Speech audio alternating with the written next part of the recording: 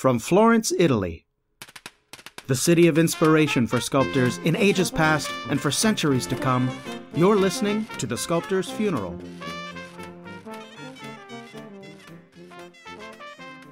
Good day to you all, and welcome back to The Sculptor's Funeral, the podcast for figurative sculptors around the world. I am your host, Jason Arkles, a sculptor and art historian currently sequestered in Florence, Italy, that fabulous city where all the great sculptors are dead and the rest of us are under lockdown due to COVID 19. I'm recording this in late March of 2020, where developments in this pandemic are unfolding pretty quickly. So, even if I were to give you a detailed update as to what Florence and Italy is currently going through, it would be out of date tomorrow. But I will say this I am healthy. I am practicing social distancing in order not to contribute to the spread of the virus, and everyone I know and love in Florence is doing the same. I am, in fact, recording this in my home rather than in my studio, using a different microphone and having to deal with the noise of my cat, as well as the upstairs neighbors and their three year old child. Well, we're all getting through this the best we can. And right now, my thoughts are turning to those outside of Italy, as the pandemic, as of right now, is just getting going, and the future remains uncertain. If you are listening to this years later from when I recorded it, you will already know how this all turns out. Lucky you. So, for your sake, I'll get right down to the subject of the podcast. Now, today's podcast is a part two in conjunction with the last episode, in which I'm focusing on the period after the Peloponnesian Wars in late classical Greece and before the death of Alexander the Great a period which spans most of the 4th century BC and includes some of the ancient world's most prolific and important sculptors. Now, in part one, I discussed the rise of various schools of sculpture founded by the three great classical sculptors, Myron, Phidias, and Polykleitos. And I talked about the sculptors and sculpture of those schools, which included notable works like the Caryatids on the Acropolis, probably by a sculptor named Alcamenes, and also the Dancing Maenad by Scopas. Well, now, we're going to turn our attention to two sculptors of the 4th century who were not direct pupils of any of these schools. But in their cases, that was a good thing. See, these two sculptors stand out for their originality, and as well as for being the two most prolific and celebrated Greek sculptors of their century, Praxiteles and Lysippus. Now, we're going to begin with Praxiteles, a name you're probably familiar with a name as well known as Phidias or Polykleitos. We probably know more about Praxiteles than any other sculptor of his time, in fact, due to the writings of several classical authors, as well as innumerable copies and copies of copies of his work. And he made a lot of sculpture, mostly in marble. Now, I mentioned in the last episode that Scopas, well, he also worked mostly in marble, which bucked the trend from earlier generations who focused on bronze statuary. Now, the reason for the switch back to marble sculpture from the fashionable and expensive bronze statues of Polykleitos and his followers was probably an economic choice. The endless wars between the Greek city states took a toll on the economy, and a statue in marble was just cheaper to produce than one in bronze. Anyway, we don't know when Praxiteles was born or when he died exactly, but best guesses place his working life between 370 and 330 BC. He was an Athenian, and he was the son of a minor sculptor named Cephisodotus, whose few known works don't seem to reflect an adherence to any of the classical schools, particularly, though there is a possible master pupil lineage that goes back to the school of Myron, but it doesn't really manifest itself in the work of either father or son. But what makes the work of Praxiteles stand out is its sensuality, and there's just no better word for it. Now, in the last episode, uh, you remember I talked about the sculptor Scopas. Scopas was the creator of the sculpture of Pothos, the minor god of yearning and longing, the companion of Aphrodite, the goddess of love. He also created a very sensual and passionate dancing Maenad, which I just mentioned. And this rendering of passion and emotion in large sculpture was something new. What also was new were the poses that Scopas gave his figures. Now, if you remember, I mentioned the figure of Pothos was leaning heavily on some drapery or a pedestal in a pose that broke with the popular formulas of contrapposto set out by Polykleitos and his school. Well, if the style of Praxiteles descends from any sculptor, it certainly comes from Scopas. In fact, the two were the same age, and some sources indicate that they may have actually worked together. So, whether Scopas copied Praxiteles, or the other way around, or if the two did indeed work together and evolved a similar style alongside one another, all that's up for debate. And there are several sculptures in existence whose attribution to one sculptor or the other is also up for debate. But where the work of Scopas seems centered on passion, we find a dreamy, languid sensuality to the work of Praxiteles. Let's take a look at a few of his works. Uh, we'll start with the one known as Apollo Sauroctonos, or Apollo the Lizard Slayer. Now, as always, you can find the image for this and other works at the image gallery for this episode, which is episode number 82 at thesculptorsfuneral.com. Just go to the homepage, click on the image gallery link, and scroll to the bottom of the page for that link. So, Apollo Sauroctonos, Apollo the Lizard Slayer. What we see in this statue is a youthful Apollo, standing nude and leaning on the trunk of a tree with one arm, in a leaning pose that is very similar to the Pothos statue by Scopas. Crawling up the trunk of the tree is a rather large lizard, and the young Apollo is poking at the lizard with an arrow in a lazy, playful manner. Hardly a lizard slayer. Now, this motif may be a playful reference to a story in the mythology of Apollo, when he fights the dragon like serpent named Python that lived in the center of the earth. And in this work, we see several aspects of the style of Praxiteles which recur in a lot of his known sculpture, or at least in copies of his known work. The languid, leaning pose, for one thing, and the youthfulness of the subject, for another. See, Praxiteles sculpted really only the youthful gods, like Apollo or Hermes, rather than gods like Zeus and Poseidon, which typically had a more mature appearance. Also, what is interesting here and what we'll see in some more of Praxiteles' work is the creative use of the third leg. Now, as you probably know, a third leg in sculpture is the necessary structural support in marble figure sculpture which keeps a statue from cracking at the ankles. Think of the tree trunk behind the leg of Michelangelo's David, for an example.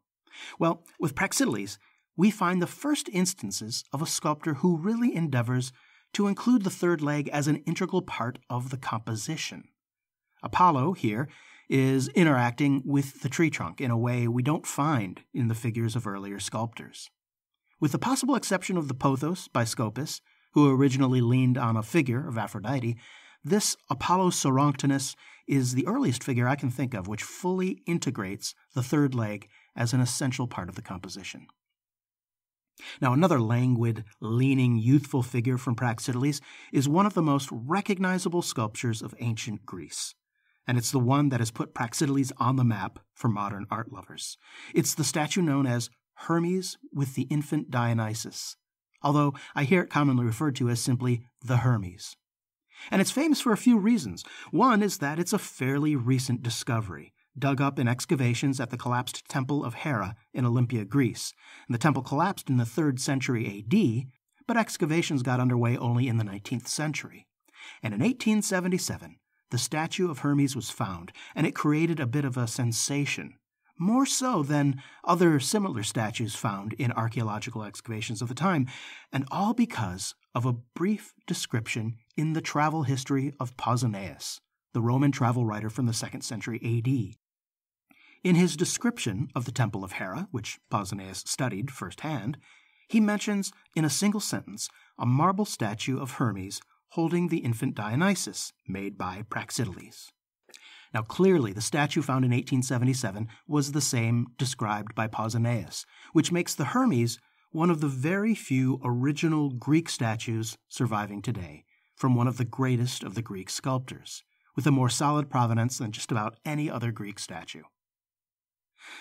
Now, another reason for its fame and popularity is its superb quality. Now, remember that the majority of 5th and 4th century statues are known to us only through Roman copies, and copies mm, can be more or less accurate, and the copyists themselves were of varying talent. But with the Hermes, we see the hand of the master himself, and the difference between this work and any copies of the work of Praxiteles is clear. And the crazy thing is, the Hermes wasn't even one of the more celebrated works by Praxiteles. It was seemingly never copied by Roman copyists. The original marble is the only one we know of. so you can just imagine the quality of the original work that Praxiteles was famous for. But if you compare the quality of the original Hermes to the copy of the Apollo the Lizard Slayer, or another copy of Praxiteles' work known as the Resting Satyr, which is in the Capitoline Museum in Rome, you compare any of these, and you'll see how, in comparison, the original Hermes is head and shoulders above the copies of his more celebrated works. But even before the discovery of the Hermes in 1877, Praxiteles had captured the imagination of art lovers and history lovers over the centuries, in large part due to the poems and odes written about his work, but even more so to the tantalizing story recorded by many classical writers of the relationship Praxiteles had with the most famous courtesan in ancient Greece, a woman known as Phryne. Now, Phryne was not her real name. Her real name was Mnesarete, but her nickname was Phryne, which in ancient Greek meant toad, and apparently people called her that because of her olive complexion. Bit of a strange nickname for one of the most renowned beauties in ancient Greece, but there you go. Now, Phryne was a courtesan, in other words, a high class prostitute. Now, the life of Phryne as we know it is as mythological as any story about Aphrodite or Zeus, full of fun anecdotes, most of which praise her unparalleled beauty, as well as her intelligence and character. However, she absolutely was a real person, born in around 371 BC in Thespiae to a man named Epicles, who moved his family to Athens. Now, among her many stories, it is said of her that at the religious festivals dedicated to Poseidon, she would strip off all her clothes at the beach and step into the surf naked for all to see, an act which helped advertise her beauty to clients and to artists alike. You see, she modeled for artists as a side gig supposedly posing for the famous Athenian painter Apelles, who painted her as Venus rising from the sea. And she also posed for Praxiteles, and what's more, Praxiteles took her as his lover. Now, it's uncertain if their relationship was more romantic than transactional. There are stories that sort of support either side of that argument. Anyway, several ancient writers record that Praxiteles made for Phryne a statue, perhaps even two of them. Pausanias elaborates on this story. Phryne once asked of him the most beautiful of his works, and the story goes that, lover like, he agreed to give it, but refused to say which he thought was the most beautiful. So a slave of Phryne rushed in, saying that a fire had broken out in the studio of Praxiteles, and the greater number of his works were lost, although not all were destroyed. Praxiteles at once started to rush through the door, crying that his labor was all wasted, if indeed the flames had caught his satyr and his eros. But Phryne bade him stay and be of good courage, for he had suffered no grievous loss, but he had been trapped into confessing which were the most beautiful of his works. And so Phryne chose the statue of Eros. Another writer, Geminus, adds to this story that out of gratitude for the statue of Eros, Phryne let Praxiteles make love to her at no extra charge. Isn't that sweet? Now, although the statue which Phryne chose does not survive, the statue of Eros, we do have fragments of copies of Praxiteles' satyr, which you can find, again, in the image gallery for this episode. Now, the culmination of the relationship between Praxiteles and Phryne, at least as concerns sculpture, resulted in a statue for which Phryne posed the Aphrodite of Knidos, sometimes called the Cnidian Venus, but we're talking Greek sculpture here, so it's more properly referred to as Aphrodite. Aphrodite being the, the uh, Greek god and, and Venus being the Roman equivalent. Now, anyway, the Roman writer, Pliny the Elder, described this sculpture in his book, The Natural History superior to all the statues, not only of Praxiteles, but of any other artist that ever existed, is his Cnidian Venus, for the inspection of which many persons before now have purposefully undertaken a voyage to Cnidos. The artist made two statues of the goddess and offered them both for sale. One of them was represented with drapery, and for this reason was preferred by the people of Kos, who had the choice. The second was offered them at the same price, but on the grounds of propriety and modesty, they thought fit to choose the other. Upon this, the Cnidians purchased the rejected statue, and immensely superior has it always been held in general estimation. At a later period, King Nicomedes wished to purchase this statue of the Cnidians, and made them an offer to pay off the whole of their public debt, which was very large. They preferred, however, to submit to any extremity rather than to part with it, and with good reason, for by this statue Praxiteles has perpetuated the glory of Cnidos. The little temple in which it is placed is open on all sides, so that the beauties of the statue admit of being seen from every point of view, an arrangement which was favored by the goddess herself, it is generally believed. Indeed, from whatever point it is viewed, its execution is equally worthy of admiration. Now, a certain individual, it is said, became enamored of this statue, and, concealing himself in the temple during the night, gratified his lustful passion upon it traces of which are to be seen in a stain left upon the marble. TMI, Pliny the Elder. But at least that last bit about the stain on the statue caused by some pervy ancient Greek, well, that story is illuminating in one aspect. It shows that for as long as nude women have been depicted in art, they have been reduced to sexual objects.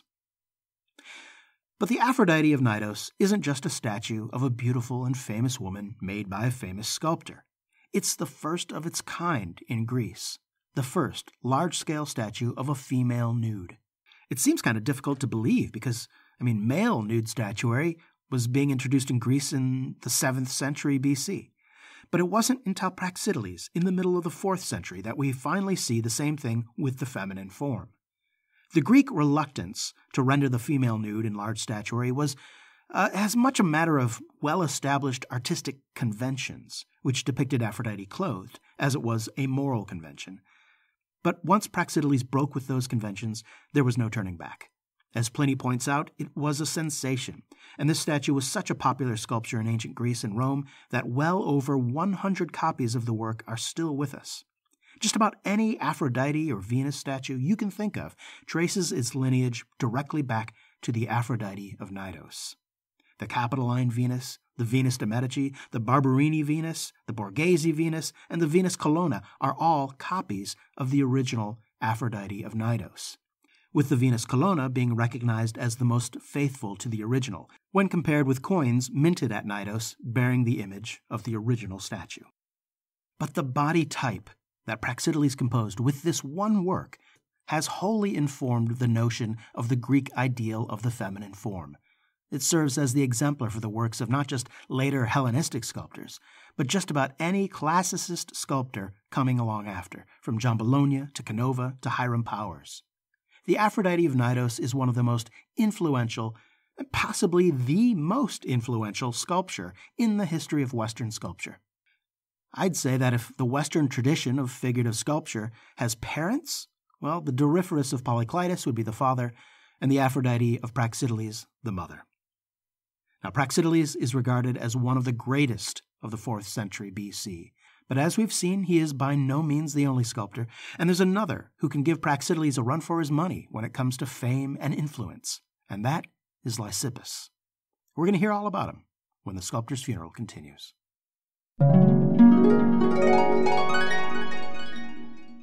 Wow, what a time to be alive, guys. I hope each and every one of you is taking good care of yourself and of each other. I'm sure you've heard it from millions of other sources, but social distancing saves lives. Now, even if you are well out of the range of the demographic most likely to be taken down by COVID 19, please think of others around you and think of your community, which includes people you may have not met. So, in addition to the lockdown here in Italy, the pandemic is affecting my life in pretty grand ways. For starters, my uh, summer tour of workshops is now drastically altered. As of this recording, I've canceled pretty much everything in my Australian and US legs of my tour. My hopes are still pinned on my UK tours, which take place in August, and I'm just hoping life is normalized enough by then. But I imagine it will be a, a new normal rather than a matter of getting back to normal. I think this is going to change how we live from here on out, and hopefully in some good ways. But it's early yet, so we'll see. Anyway, in, in addition to uh, workshops canceling, I haven't had a student in my Florence studio for going on a month, with no students to be seen for the foreseeable future. And I myself haven't been to my own studio for a couple weeks. I live out in the countryside, just outside of Florence, in a little farmhouse. So you know, I've got a nice garden and I'm isolated, uh, you know, as isolated as I want to be, but I can still get out into some fresh air and some sunshine. So it's pretty, pretty all right. But for now, studio, uh, you know, trips to the studio, they're just out. Uh, I'm, I'm taking the lockdown very seriously, and I hope you are all doing the same as regards whatever precautions are in place where you are. And, um, you know, actually, the time off has been pretty nice for me, all except for the, you know, the looming financial disaster that awaits me. Uh, but I, I think it's going to affect a lot of uh, a lot of you out there too, eventually, if it hasn't already. So buckle up.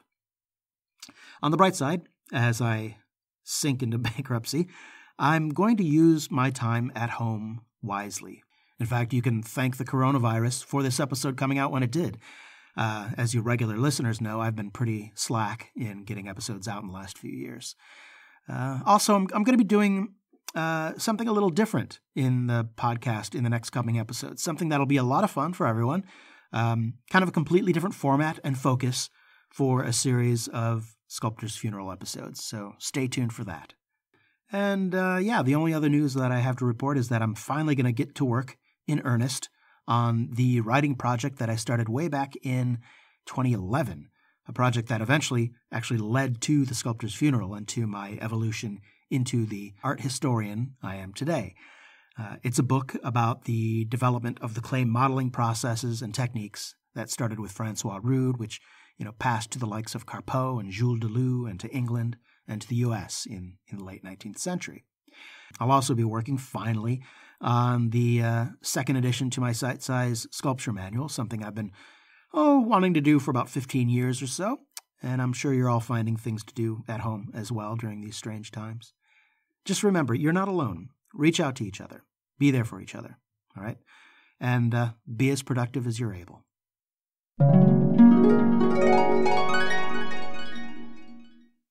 So, Lysippus, the other giant of the fourth century, he stands in contrast to Praxiteles in a few different ways.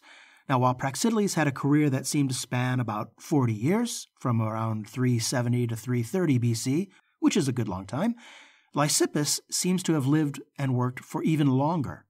We find Lysippus was born around 390 BC, about the same time as Praxiteles, and documents show that he was active as a sculptor to at least 316 BC, at which point he would have been around 75 years old.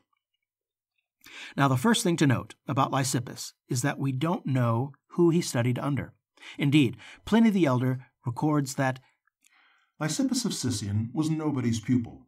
Originally a bronzesmith, he joined the discipline after hearing a response from the painter Eupompus. When asked which of his predecessors he followed, Eupompus pointed to a crowd of people and said it was nature herself, not another artist, whom one should imitate. I really like that quote.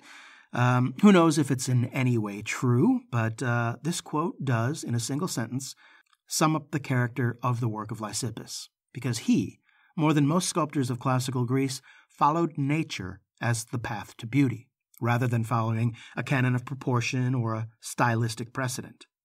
Pliny elaborates on this. Lysippus is said to have contributed much to the art of sculpture by rendering the hair in more detail, by making the heads of his figures smaller than the old sculptors used to do, and the bodies slenderer and leaner to give his statues the appearance of greater height. Latin has no word for the symmetria which he most scrupulously preserved by a new and hitherto untried system that modified the four square figures of the ancients. And he used to say publicly that while they had made men as they were, he made them as they appeared to be. A distinguishing characteristic of his is seen to be the scrupulous attention to detail maintained in even the smallest particulars. So when Pliny talks about the four square figures of the ancients, he is directly referring to the canon of Polyclitus, the organization of the parts of the body, and even the organization of the features of the face in the work of Polyclitus and his followers is sometimes referred to as foursquare, due to the consideration of symmetry from left to right and from top to bottom. Also, in this quote, Pliny talks about how Lysippus made his heads smaller than Polyclitus did. And if you look at much of Polycletian work, the figures do indeed appear to be fairly stocky, maybe no taller than five foot seven or so, due to their proportions and the size of the head relative to the height of the figure. Essentially, the figures of Polyclitus are about seven heads high. In Lysippus, we find his figures to be about eight heads high. But for me, the most intriguing statement of that Pliny quote that I just read is how Lysippus, quote, used to say publicly that while they had made men as they were, he made them as they appeared to be. Now, this is similar to a sentiment I often hear and repeat myself when talking about the difference between realism and naturalism in sculpture. Realism, so the saying goes, is to render what is there, present in the model. But naturalism is to render what you see is there in the model. Now, it would appear that Lysippus is the grandfather of naturalism in sculpture, at least where the artist's intentions are concerned. So, this dualism in, uh, in representational art, the tension between nature and the ideal, that's still with us today, of course, and it seems to be the continuation of a conversation started back in the 4th century BC. The difference in approach and aesthetic between Polyclitus and Lysippus is similar in nature to the differences between Donatello and Michelangelo, between Canova and Houdon, or between Lorenzo Bartolini and Giovanni Dupre. And if Pliny the Elder is to be believed, Lysippus was self taught. Now, that may have been the case, we'll never really know. But historians and art connoisseurs have always detected a strong link between the work of Lysippus and that of Polyclitus, despite their differences. You see, there exists in both a grace and a fluid subtlety, certain qualities that are really encapsulated in the 18th century art critic Johannes Winckelmann's famous phrase, calm simplicity and noble grandeur. It's like these two sculptors had the same aims, but took different routes to get there so much so that Lysippus is often referred to, incorrectly, as being a part of the school of Polyclitus, or even a student of his. Of course, not directly, as Polyclitus was dead before Lysippus was born.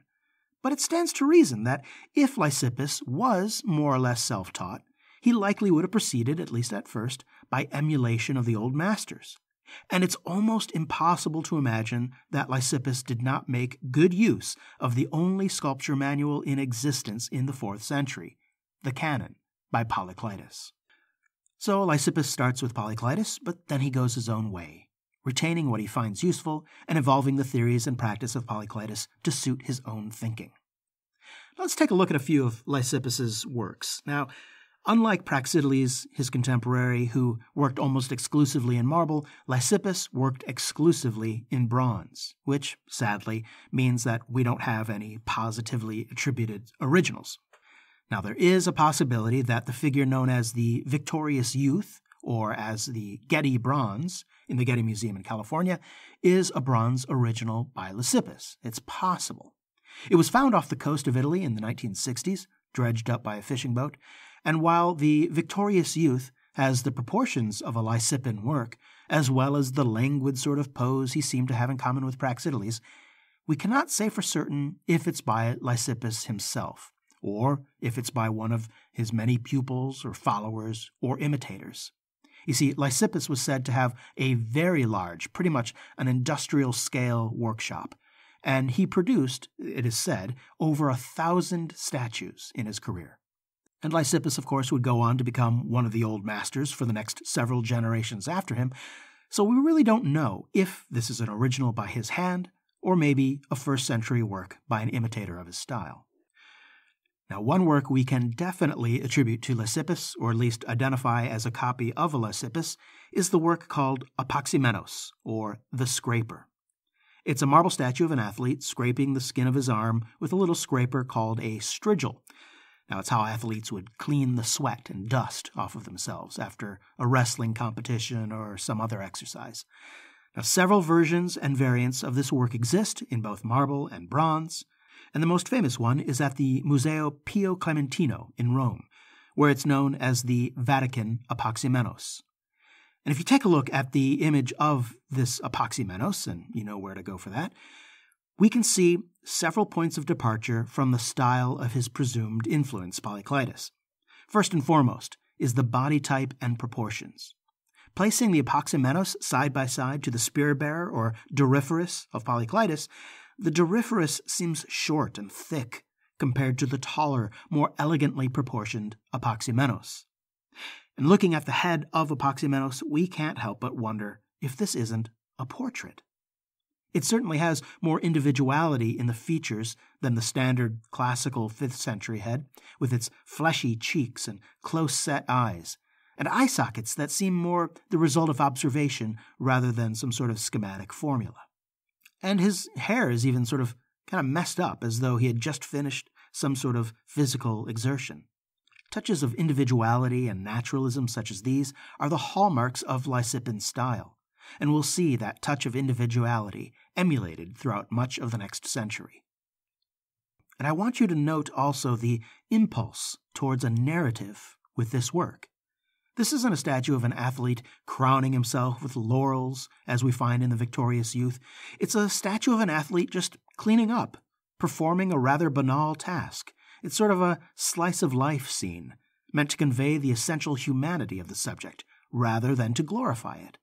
It's the same impulse towards narrative that we see in some of Praxiteles' works, like The Lizard Slayer. It would seem as though, in the fourth century, the quasi religious pursuit of a godlike ideal in figurative sculpture has devolved somewhat into something more human, more individualistic, and, with its focus on narrative and detail, more crowd pleasing. And the Greeks, as well as the Romans later on, loved the Apoxymenos. Pliny the Elder recounts a story about its popularity later on in the Roman Empire when the original had been transported to Rome.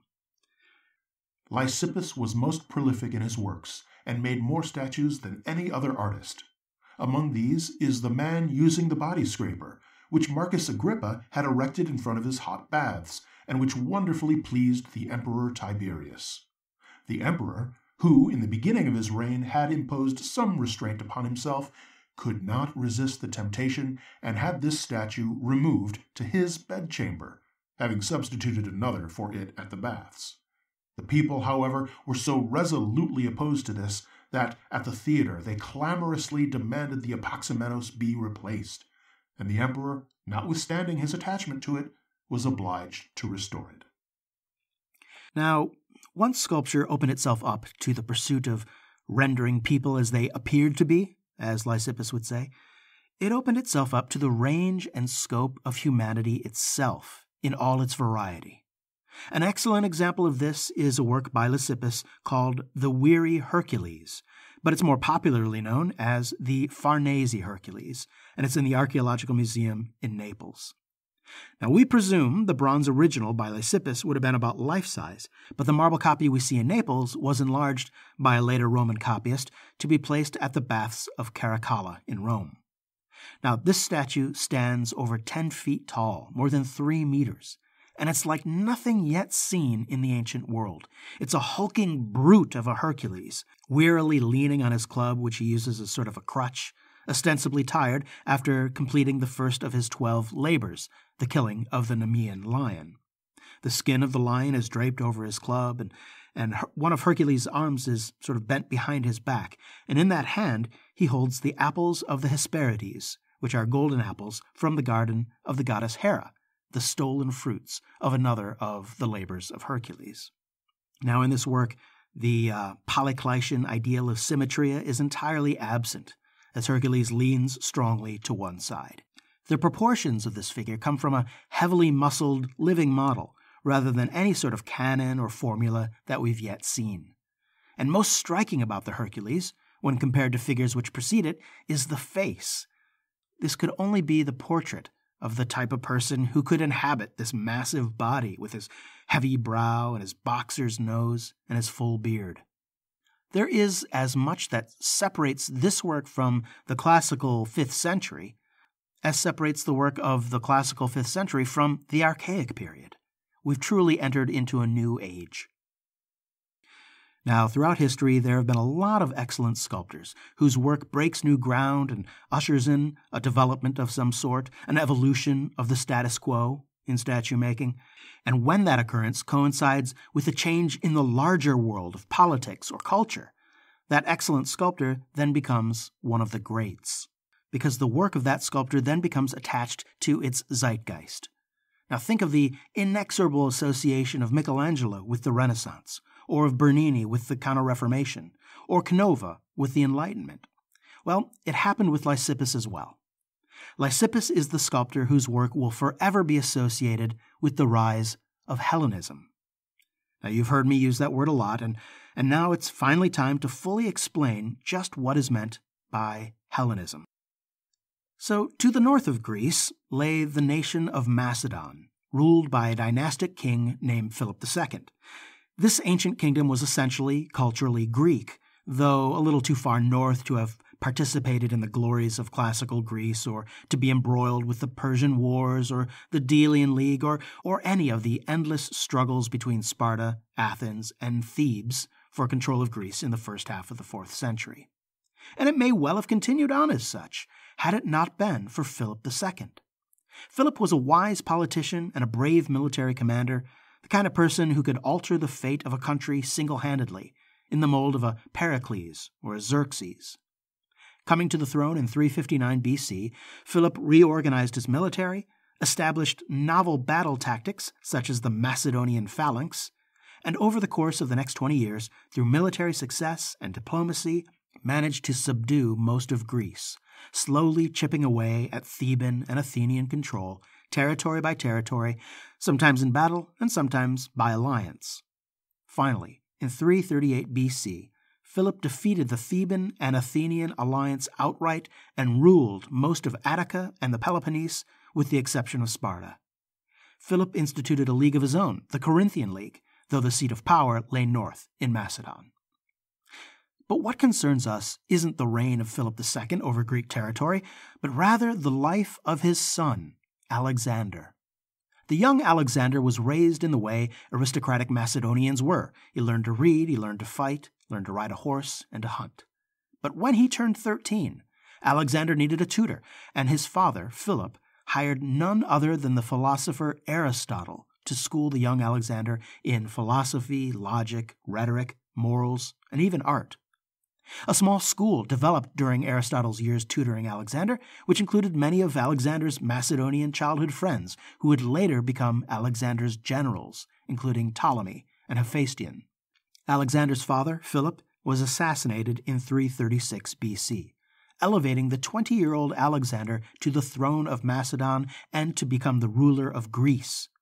Alexander immediately embarked on a military career unparalleled in world history, beginning with a successful invasion of Persia, which led to the end of the Persian Empire, but then onwards, east, conquering Syria and what is now Turkey in one year, Egypt the next, Assyria, and Babylon the year after that.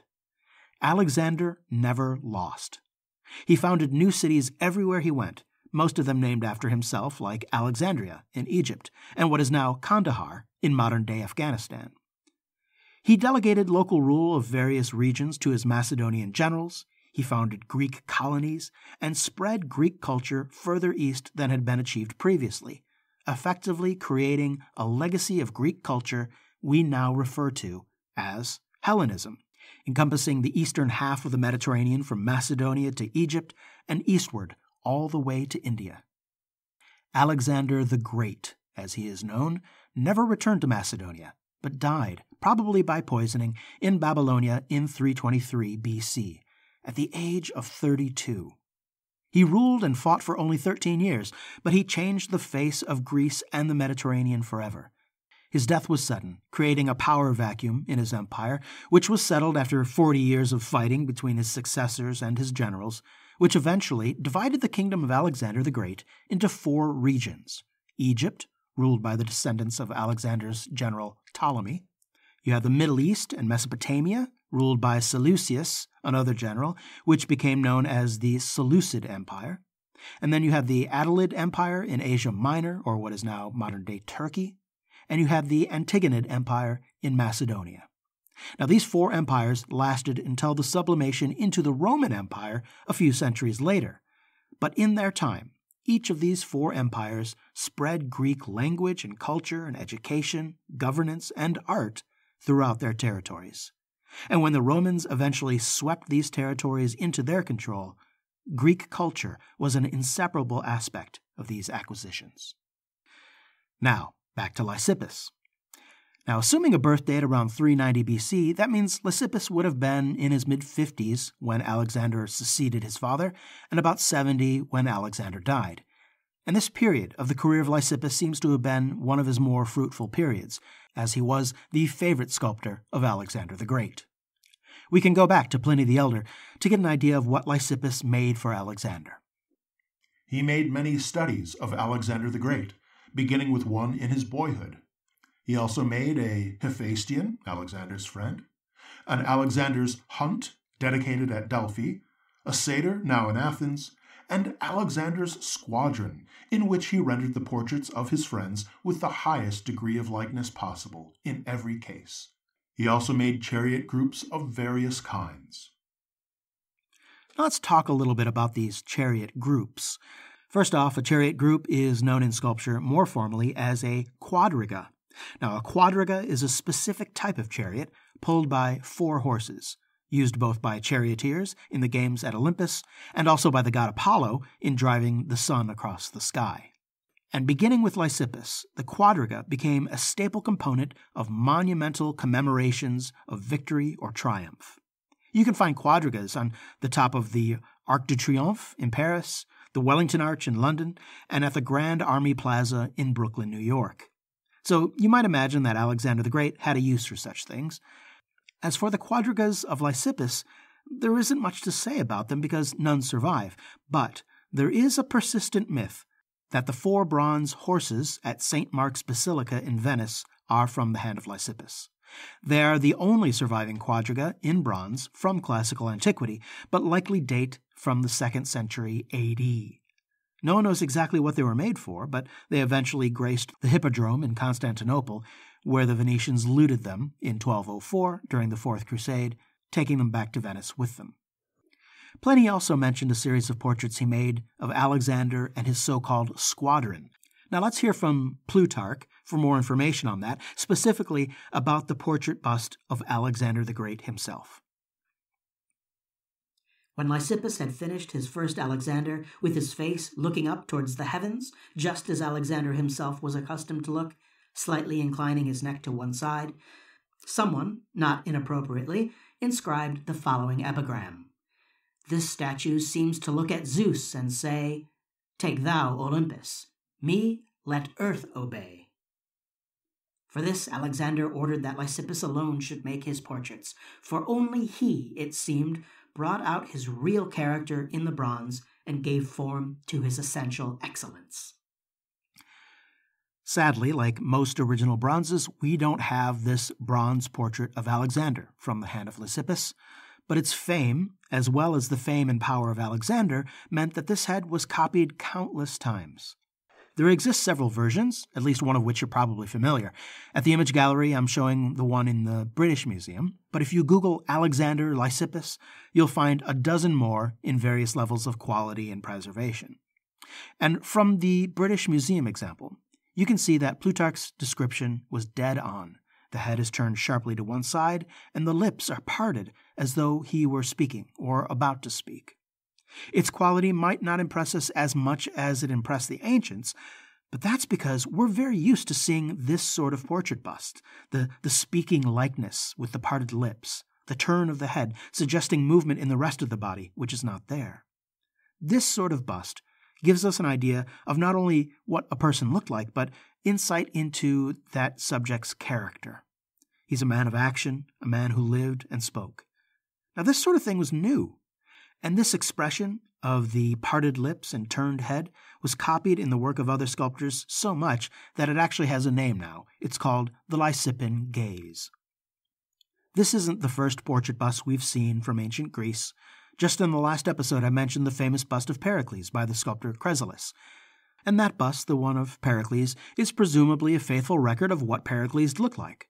But we get no sense of his character, apart from what is given to us by way of his war helmet. It doesn't move, it doesn't speak, it doesn't live like the bust of Alexander does. The bust of Alexander has life and narrative and character, and it is one of the earliest busts to exhibit these qualities. Lysippus seems to have been the first to realize you can encapsulate character in this way. In a certain expressive sense, it really is the first portrait bust. And it makes perfect sense that the genre should originate with the sculptor who strived to make sculptures of his subjects not as they are, but as they appear.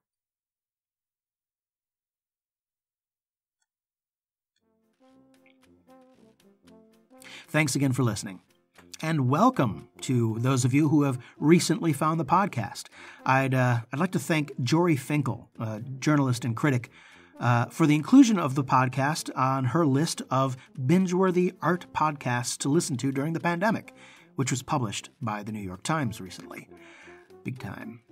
The podcast uh, received a bit of a ratings bump from that, for which I thank you.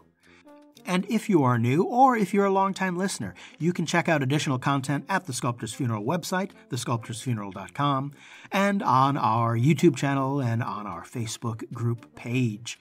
You can also subscribe to the podcast on Apple Podcasts or the dozens of other podcast apps out there.